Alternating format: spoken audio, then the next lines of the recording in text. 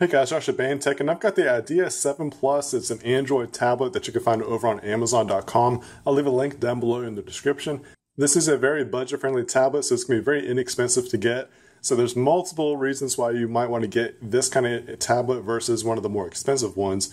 We'll get into those reasons just a little bit later. I just kind of want to do a first impressions unboxing type video and kind of give you an idea of what to expect. I catch myself with so many unintentional puns, it's ridiculous. Anyways, so let's go ahead and take a look around the packaging and kind of let you see what it comes with and what it looks like. You got a nice little preview of the device here. You got your branding, of course. On the side, you just got some design. On the back, you got some specs that you might be interested in. It comes with Android 4.4, and you can load some APKs onto it as well. USB compatible, that's always good. You got one gig of RAM basically, and you got eight gigs of main memory, but you can expand it to 32. So that's actually a pretty good, decent size expansion for such a cheap tablet. You got voice assistant and also some voice controls that you can use. On this side, it kind of gives you a list of some of the other specs that you might be interested in. Like it's got 7 inch IPS, 1024 by 600 display, some of the voice controls that we just mentioned, and of course, Android 4.4. Let's go ahead and get this on opened up. All right, so we're greeted with the tablet at first, and we're just gonna put this off to the side to see what else comes in the box. So we got some of our paperwork, instructions, user guide. If you're not familiar with tablets or like devices like this, I definitely suggest looking through this kind of stuff. It's actually kind of important. It tells you what it's all about and how to operate some of it. So if you're new to the tablet world, this is something that you might want to look into actually reading. Looks like we got our USB cable here. Yep, and it looks like it's actually a pretty good length, so that's always good. I like longer USB cables.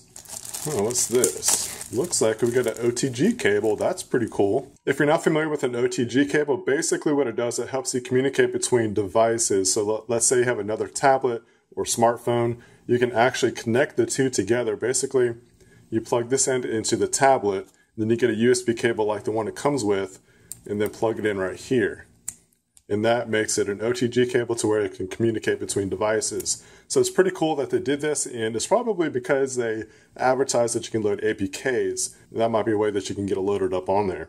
And of course, you got your power grip, and the power grip is actually going to put out 5 volts to 2 amps, so that's not too bad. Pretty good little power brick here. And that is going to do it as far as the packaging goes. All right, so here's the device itself. We'll leave this on for just a second. And just to kind of give you an idea of what this looks like before we take off all the film. So we got a serial number, we got speakers, got a camera, power controls. This is going to be your SD card slot. And on the front here, it kind of gives you some preliminary instructions before you get going. One, you want to remove this film once you get going. You want to charge this up for 10 hours before the first time use.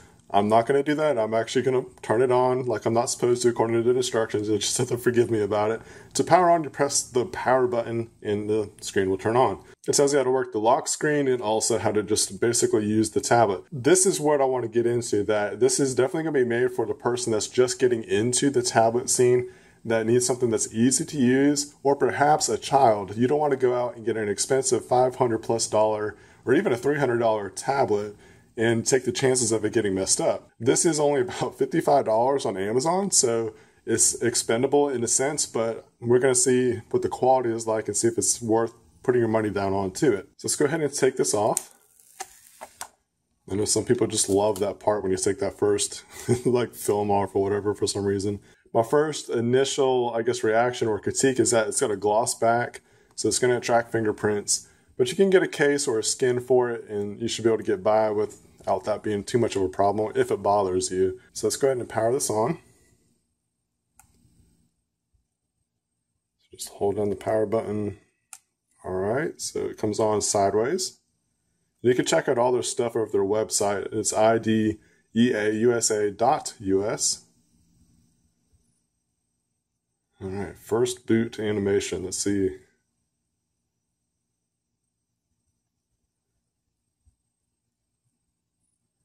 how long it takes.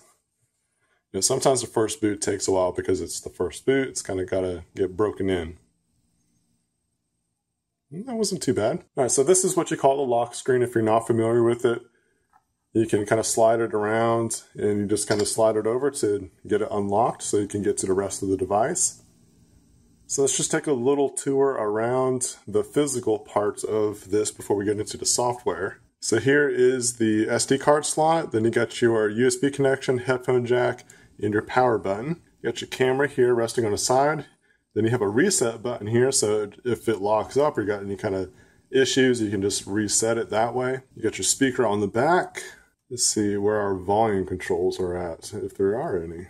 All right, so it doesn't seem like there's any kind of volume controls or buttons. So what you're gonna have to do is a little trick that you can do is hold down the screen here.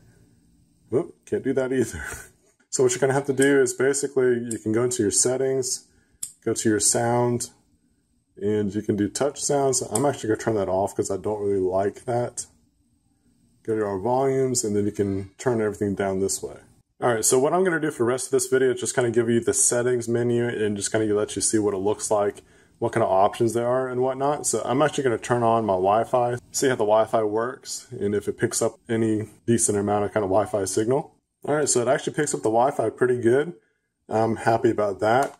You got your Bluetooth here, data usage and more. So basically, if you're familiar with the settings of Android, you're gonna be rather familiar with this, but just in case you're not, these are your options. You got your sound, display. You can show different kind of stuff. Have you know brightness, wallpaper. You can set it to go to sleep at certain times. Got HDMI connection, screenshot settings. Here's your storage, and it'll show you how much you got for your internal and external. Your app manager. You downloaded on SD card, running, and all. We got location settings, security, language and input, backup and reset, you can add your accounts such as uh, Google and your emails and so forth.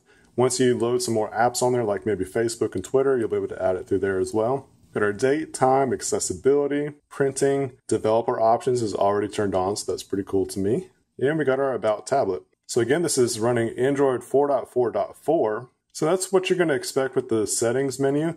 And you can download different launchers and all kinds of apps like that that might make this a better experience for you. Just kind of depends on your preferences and whatnot. But I just kind of want to do an unboxing and first impressions video. My first impressions of this is that I'm actually really excited about this. I'll be able to give you a full opinion in just about a week or so. Once I get some more experience with this, kind of tell you how it performs, if I have any kind of issues or whatnot. My first impressions is that I'm pretty, I guess, impressed for just being $55 that you can get over on Amazon. That's just pretty cool to me. I'm I love gadgets. I love technology. So it's just fun getting anything. Like I'm happy with this. I'm actually going to see about rooting this and getting some custom ROMs going, see what I can do as far as modifications go. Just have some fun with this thing. It's just awesome that I can actually even just have it to mess around with. So I'm looking forward to just playing around and see what I can do with it. Not to mention, I have some books that I am about to start reading, and this is actually the, one of the really good sizes for reading books or tablets. It's not too small, not too big. Another good reason to get something like this. So anyways, I'll give you some more details about that kind of stuff later down the road when I give you my full review about this. Thanks guys for watching. I really appreciate it. If you found that this video is helpful to you, share it with your friends and family. I'm sure that there's somebody else that would benefit from watching this video. Until then, give me that thumbs up and I really appreciate it. And I'll catch you guys in the next video.